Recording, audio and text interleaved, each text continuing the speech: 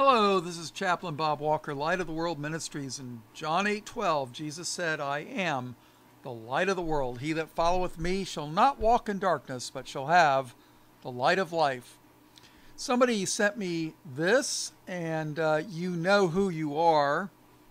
And uh, I didn't change a, a, thing, so I thought I'll do it.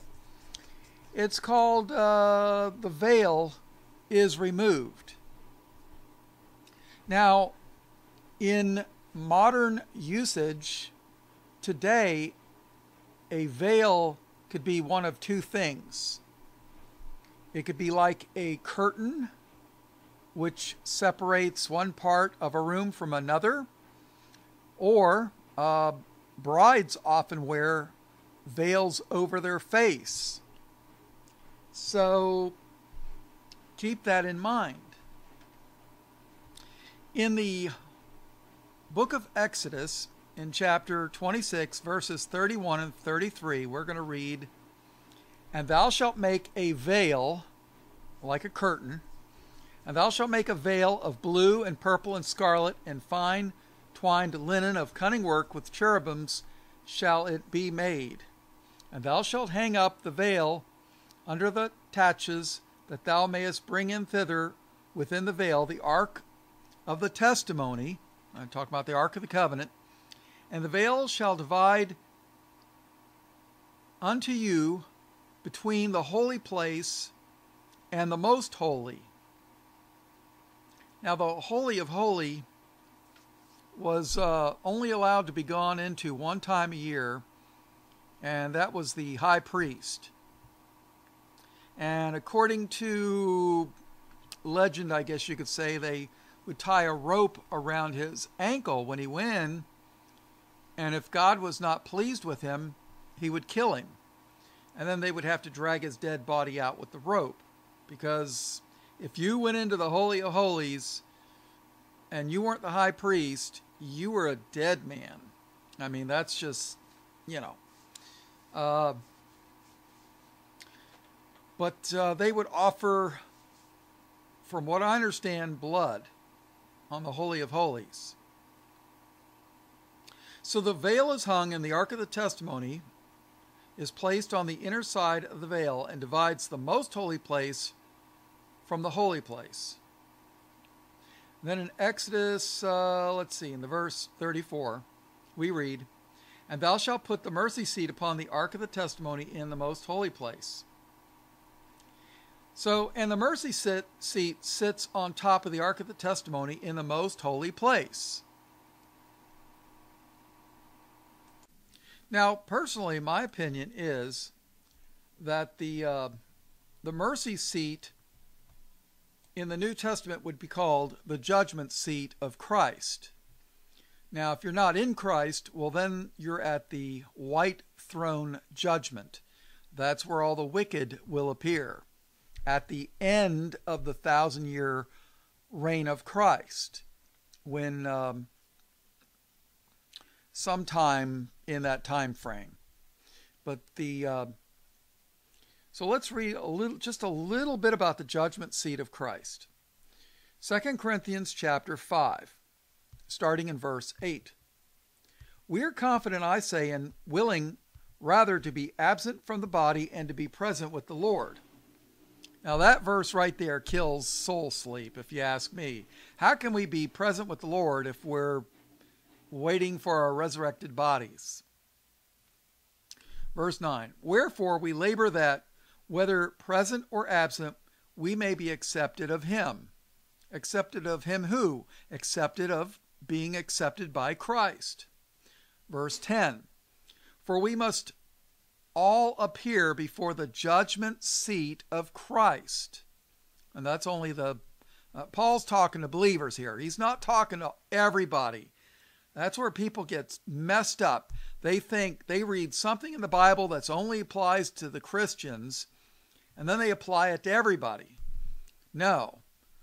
Those that are not in Christ are going to be at the white, uh, the white throne judgment just before they're thrown into the lake of fire. So, for we, Christians, For we must all appear before the judgment seat of Christ, that every one may receive the things done in his body according to that he hath done, whether it be good or bad. See, we're going to be judged by our works. Our salvation is being born again of the Spirit by our and our faith in Christ.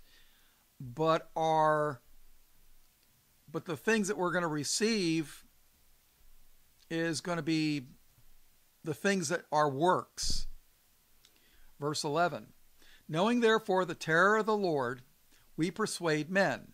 But we are made manifest unto God, and I trust also are made manifest in your consciousness consciousness.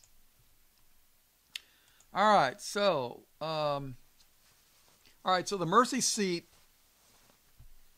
would sit upon the top of the ark of the testimony in the most holy place. Now this is the ark of the covenant, okay? Um, in Exodus 27, 21, in the tabernacle of the congregation without the veil, which is before the testimony, Aaron and his sons shall order it from evening to morning before the Lord. It shall be a statute forever unto their generations on the behalf of the children of Israel. Now, Aaron was the brother of Moses. They were of the tribe of Levi, they were the Levitical priesthood. They were the ones that served the Lord. They were the ones that the tithe was to support. The, the 11 tribes were to pay a tithe to support the, the, the Levites. So unless your uh, pastor at a church can prove that he's a Levite priest, he has absolutely no authority to be preaching about tithes. He's a fraud. Jesus didn't say anything about tithes. All right. Exodus 30 and verse 6. And thou shalt put it before the veil that is by the ark of the testimony, before the mercy seat that is over the testimony, where I will meet with thee. See, the veil was to, it was like a curtain, it was to separate us unclean sinners with the Holy of Holies. All right, so within the most holy place where the Ark of the Testimony is, with the mercy seat on top of it, is where God meets with Aaron, his sons, and the Levite priests after them. And uh, when Moses came down from the mount, mount, you know, when he got the Ten Commandments, from being with God for 40 days and 40 nights, didn't Jesus fast for 40 days and 40 nights? Wasn't the um, the uh, flood of Noah 40 days and 40 nights? You know that that that comes up quite a few times. All right, so when Moses came down from the mount from being with God for 40 days and 40 nights, the skin of his face shone and the people were afraid, so he put a veil over his face. See, his skin glowed. I mean, it was like, you know, I guess it was like a light bulb or something. I don't know. Exodus 34, verse 35. And the children of Israel saw the face of Moses, that the skin of Moses' face shone, and Moses put the veil upon his face again until he went in to speak with him. The veil here represents the veil that divides the holy place from the most holy place. Moses was like God to the Israelites, not the Israelis. So Moses was like God to the Israelites, for God spoke face to face with him, and he was to relate the messages to his people. But the people could not look upon Moses' face without the veil. And when you think about it,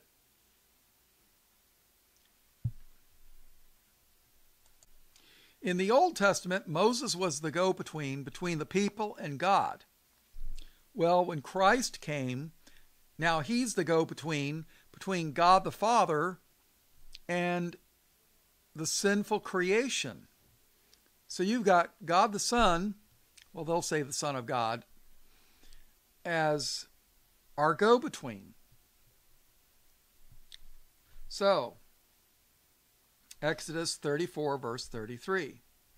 Until Moses had done speaking with them, he put a veil on his face. All right, so uh, verse 34.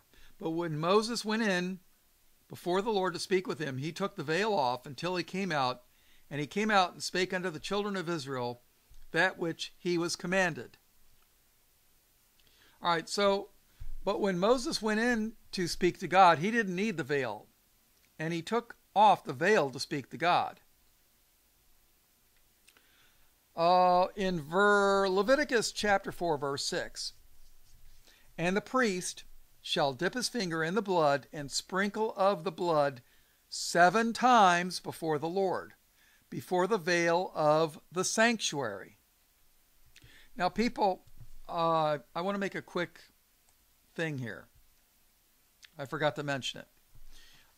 The uh, in Exodus 26, verse 31, uh, the first verse I read, it says, And thou shalt make a veil of blue and purple and scarlet, and fine twisted linen of cunning work, with cherubim shall it be made. Uh, if you take a good look at the the whore, the harlot of of Revelation of Babylon, and it talks about the colors of the whore. Well, it's the same colors as the temple the I mean the well, the tabernacle, the holy of holies, same colors, scarlet. Okay, so All right, so All right, so back to Leviticus 4 verse 6. And the priest shall dip his finger in the blood because you couldn't go to to the Lord without blood. That's why Christ shed his blood on the cross. And the priest shall dip his finger in the blood and sprinkle of the blood seven times before the Lord, before the veil of the sanctuary. That's Leviticus 4 6. Now, in 2 Corinthians 3 and verse 13, and not as Moses, which put a veil over his face, that the children of Israel could not steadfastly look to the end of that which is abolished. Okay, so to the end of that which, excuse me, which is abolished, which is the Mosaic law of animal sacrifices and shedding of animal blood for the remission of sin. Now, I've had people tell me that all the law was nailed to the cross. I'm sorry, the Ten Commandments were not nailed to the cross. Christ is our Sabbath. But if you want to take a day, uh, the seventh day off and uh, not work and honor the Lord, I think that's a great thing. And reflect upon the great things that Christ and God the Father have done for us, you know, and do Bible studies and what have you. I think that's great. Uh, do I think that if you don't keep the Sabbath, you're going to hell? No. Christ is our Sabbath. But I'm sorry, I don't think the Ten Commandments were done away with. Matter of fact, uh, Christ made it even more tough. He said, if you just looked at a woman with lust in your heart, you're guilty of adultery. I mean, you know, boy, I mean, how many guys uh, haven't uh, looked at an attractive female? I think God definitely knew what he's doing when he created the female. But Christ said, Love the Lord and love thy neighbor. And on these two commandments hang all the law and the prophets. So basically, the Ten Commandments all fit into those two. All right, so, and I'm sorry, I don't, like I say, I don't think the commandments were done away with. Jesus said, If you love me, keep my commandments. And Jesus said that in John 14 and verse 15. He said, If ye love me, keep my commandments. So, all right, so In 2 Corinthians chapter 3 and verse 14 we read, "But their minds were blinded, for until this day remaineth the same veil untaken away in the reading of the Old Testament, which veil is done away in Christ." You see, the Israelis, Jews, don't believe in Jesus. The veil is Jesus. They are still waiting for their Messiah. And guess what? God the Father is going to send them the Messiah that they so eagerly await. Jesus told the unbelieving Jews in John 5:43 he said, "I am come in my Father's name, and ye receive me not. If another shall come in his own name, him ye will receive." Well, guess what? They're going to receive their Messiah. I forget which rabbi. Somebody sent me a video. You know who you are about the uh, the rabbi that was basically degrading everything that Christians believed and basically was telling everybody, well, everything that the Christians believe, uh, believe the opposite because they're wrong.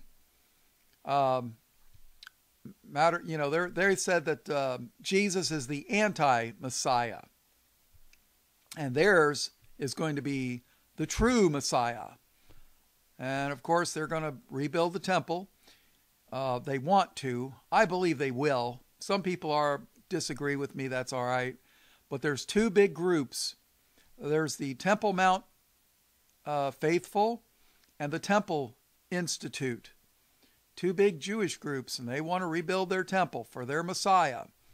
And honestly, I I I think God the Father will allow it, but you know, I could be wrong.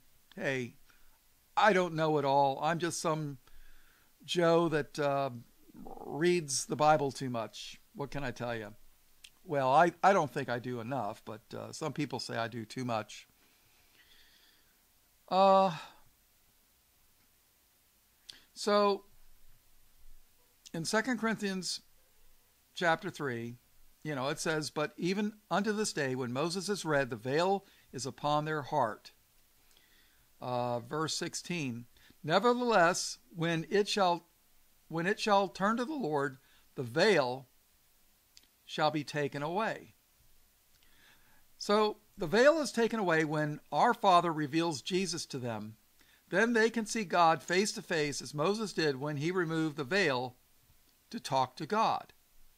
By a new and living way, which he has consecrated for us through the veil, that is to say, his flesh. And that's in Hebrews chapter 10, verse 20. Through the veil, his flesh. Now think about this. In Matthew 27 51, we read, And behold, the veil of the temple was rent in twain from the top to the bottom. And the earth did quake, and the rocks rent.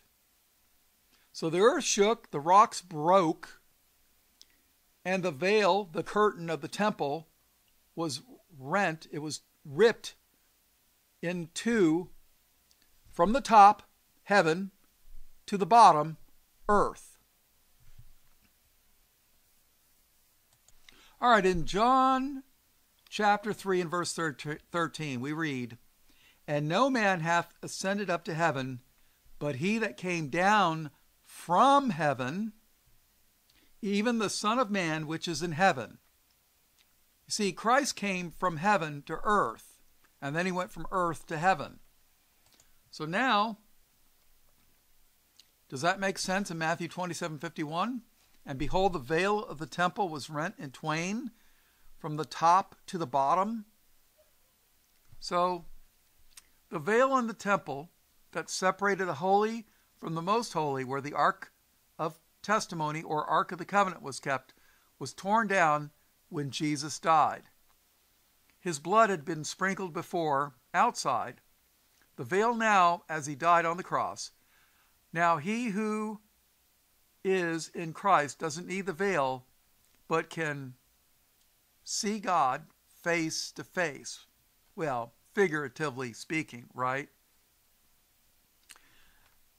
All right, Hebrews 6:19.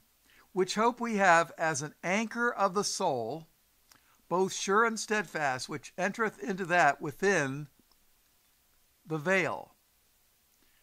Thank you, Father, for we now enter within the veil. All right, and in Hebrews 9:13, I'm sorry, Hebrews 9 verse 3. And after the second veil, the tabernacle, which is called the holiest of all, which had the golden censer and the ark of the covenant overlaid round about with gold. Now, gold is a very interesting metal. Now, I, I this is my opinion. I believe that gold is, as a metal, is representative of God. I mean, G, it's spelled G O L D. Uh, if you look at, take God and put, you know, put it in gold, you have to put an L in there. But, but the thing is, gold doesn't tarnish. And I believe that those in Christ are likened unto silver. And silver can tarnish, but when silver is pure, it and smooth, it's like a mirror. So that when God looks at the silver, he can see his reflection. But, uh, you know, we were made out of the dust of the earth. But yeah, you could do a big study. You could do a study on uh, metals in the Bible. I there's I think there's a lot more important things to for me to do, but uh, maybe one day I'll do that.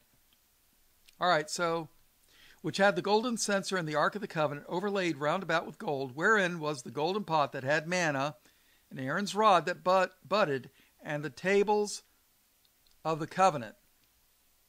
See, in the ark of the covenant, there was a manna, Aaron's rod that budded. I think it was the rod that uh, he threw down with Pharaoh and the um, the Ten Commandments. So where's the uh, Ark of the Covenant? I don't know. I I kind of wonder if they rebuild the temple, uh, if they will fake one and claim to find it in Ethiopia. I I don't know.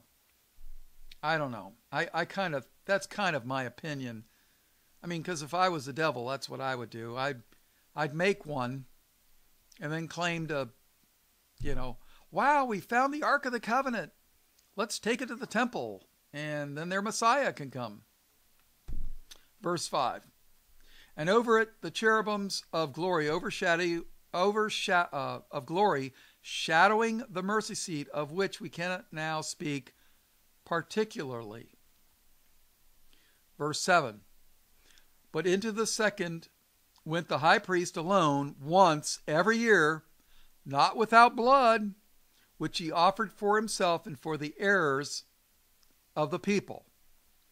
Verse 11 But Christ being come and high priest of good things to come by a greater and more perfect tabernacle, not made with hands, that is to say, not of this building, neither by the blood of goats and calves, but by his own blood he entered in once into the holy place, having obtained eternal redemption for us. By his own blood he entered once into the holy place. For if the blood of bulls and of goats and the ashes of an heifer, sprinkling the unclean, sanctifieth to the purifying of the flesh, how much more shall the blood of Christ, who through the eternal Spirit offered himself without spot to God, purge your conscience from dead works to serve the living God? And people, if you want to read the book of Hebrews, you should read it in conjunction with the book of Leviticus. Because that was the, the book for the Levite, the Levitical priesthood. And the book of Hebrews is the fulfillment of that. Matter of fact, uh, the book of Hebrews does not have an author attributed to it. Personally, I think Paul wrote it, but uh, I don't know because Paul was uh, Paul was uh, taught the same as the priests were. I mean, he he's he spent a childhood learning the things of God from the scriptures. So, and Christ took him, I think, for three years into the wilderness to learn. So, there you go. Maybe. I don't know. It's also interesting that at a traditional wedding, the bride stands before the groom with a veil over her face. And, you know, I used to do weddings, done a lot of weddings I feel guilty about doing, I shouldn't have done. But, uh, you know, I've, I can't understand uh, why, and I mean, I'm no better. I try not to be a hypocrite. But uh, I don't understand how a woman that's been with, you know, a couple dozen different guys wears a white dress with a veil over her face. I, I could never figure that one out. Uh, I did a wedding one time at a five star hotel. Between the bride and the groom, they had seven marriages between them. I mean, really. And I'm a hypocrite, people. So you know, I'm no better. Uh, uh, you know, I try not to be a hypocrite. So, all right. So the brands, the bride stands before the groom with a veil over her face. Once they are married, the groom lifts the veil and sees his bride face to face. Well, guess what? Jesus is the groom and he has lifted the veil from his bride's face, which is the church, his flesh, God in the flesh, and we can now see each other face to face. This is going to be the marriage supper of the Lamb. All praise and glory to our King of Kings, who is gathering the wheat to put in his barn, his sheep to put in his sheepfold, and his bride for that great supper where we will all drink so at the great supper, where we will drink new wine and forever be with him. Remember the uh, the Lord's Supper where he took the bread and he took the wine and said, "Eat this is my flesh and drink this. This is my blood." Well, guess what? There's coming a marriage supper of the Lamb, and uh, you know it's really sad is people that actually believe the pre trib rapture think that they're going to be up in heaven at the Lord's marriage supper of the Lamb, and everybody else uh, on earth is going to have to die for their faith, and they're going to miss the marriage supper of the Lamb. They're going to miss it. I mean, really? You know, people that die for their faith are going to miss the marriage supper of the Lamb. I mean, they actually believe this stuff. Uh, so, what can I tell you? All right, well, all blessings, praise, glory, and honor to the Lamb of God slain before the foundation of the world. In Jesus' name, amen.